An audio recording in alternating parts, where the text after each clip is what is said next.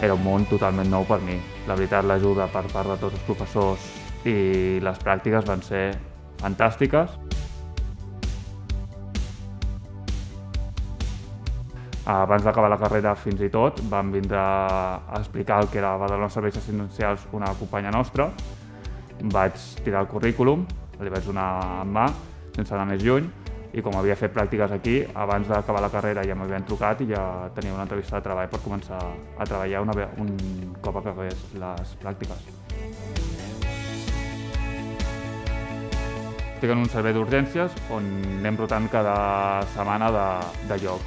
Hi ha una setmana que estàs a Medicina, on veus pacients de Medicina interna, tenim una unitat també de semicrítics, que tenim uns pacients una mica més complexos, més complicats, la unitat de cirurgia i de trauma, i la unitat de triatge de primer nivell, que normalment el que fas és l'entrada del pacient, valors del pacient, decideixes quin nivell de, de complexitat té i a quina llista anirà.